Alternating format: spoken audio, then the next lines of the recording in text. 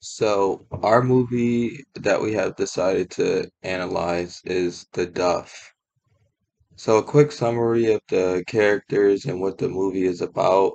We have our three characters that we start off with, and Madison Morgan, um, we have Bianca Piper, and we also have Wesley Rush. So, after finding out that she, Bianca Piper, top right corner, has been labeled as the Duff, designated ugly fat friend by her more attractive counterparts, she seeks answers as to what will make her look and seem more attractive. We start off with our first character of the movie, which is Madison Morgan, and some of her characteristics include being the hottest girl in school. She can tend to be very passive aggressive towards her classmates and kids that are at her high school.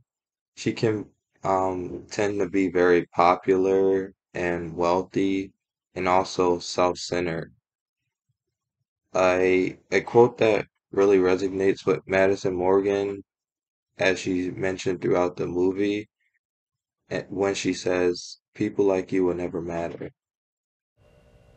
Wesley Rush was a typical school jock. He was on the football team, he was very popular, he was cocky yet sympathetic in a way. Wesley was also a very straightforward boy who won't say anything. A quote that really sums up Wesley's character is You can lie to yourself if you want, but reality is going to catch up with you. I'll be waiting when it does, whether you like it or not. Bianca Piper, also known as the designated ugly fat friend, was a good student and overall well rounded person. She was shy but confident in who she was. She knew what she wanted, and nothing could change her mind.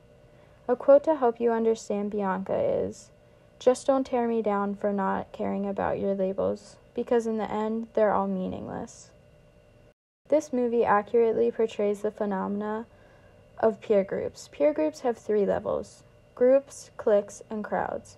The groups would be the pretty girls, the popular kids, and the duffs. The pretty girls would be Jess and Casey, Bianca's best friends. The popular kids would be Madison and Wesley. The duffs would be anyone who wasn't pretty or popular. The cliques were Bianca, Jess, and Casey. Then there were Jess, Casey, Wesley, and Madison. Cliques and crowds go hand in hand. These were two different cliques but would hang out as a crowd. Bianca isn't in the same group or clique as Madison and Wesley, but they would still hang out because of Jess and Casey. The movie The Duff accurately portrays the identity development phenomenon. It portrays the concept from the identity and context reading of falling into an identity crisis while facing daily questions about who one is responsible for becoming. Nakkula and Toshalis, authors of The Identity and Context Reading, states this crisis results from pressures placed on adolescents as they attempt to construct an identity that will meet with the support of their friends as well as their family, teachers, and society at large. Bianca changed her appearance due to the pressure of pleasing those around her. She was constantly overlooked, but she didn't recognize it because she didn't care. She was fine with the way she looked and acted. That was her true identity. As Bianca became aware that she was the duff of her friend group, she then was placed into a stage of identity crisis. Bianca began wandering through a journey of changing her appearance. The message of the movie The Duff is about perception and the way people are viewed in society.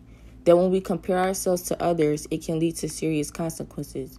When we look upon others as less than someone else, it tells a lot about the individual's character. In the end, the person who causes you the most negativity has felt those negative feelings before they started causing them upon you, ultimately alluding to the theme of treating others the way you want to be treated. Above is a short segment from a scene of the movie where the new Bianca stands up for herself and learns to accept things for what they are. What the shit? Wow. Get out of my way. Wow, that is an interesting dress. Who makes that, Build-A-Bear? Since you can't seem to leave my boyfriend alone, I cannot wait to release your video tomorrow. Good. I'm glad you're excited about it. Go right ahead. Fine, I will. Plus, Wesley would never leave me for some duff anyway. Look, Madison. It's okay. Ooh, Madison. You used to make me so upset. But now I just feel bad for you. Yeah, I'm somebody's duff. Guess what? So are you. So's everybody. There's always gonna be somebody prettier, or more talented, or richer than you. But it shouldn't affect how you see yourself. You label everybody to try to keep them down, but you end up missing out on all this great stuff around you. You have Wesley, and you treat him like he's stupid, but he isn't. And people don't like him because he's with you, they like him because he's like an amazing guy. Look, I like myself. I wouldn't want to be anybody else. And I realize now that none of this matters to me. But it does to you. It's your dream. And I totally support that. Just don't tear me down for not giving a shit about your labels because in the end, they're meaningless.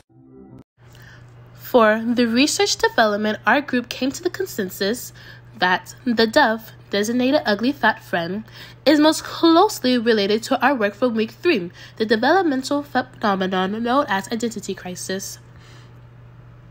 Therefore, based upon the analysis that the duff lends itself in similarity to the identity crisis, research questions in which could help persuade others to come to the same realization would be the following.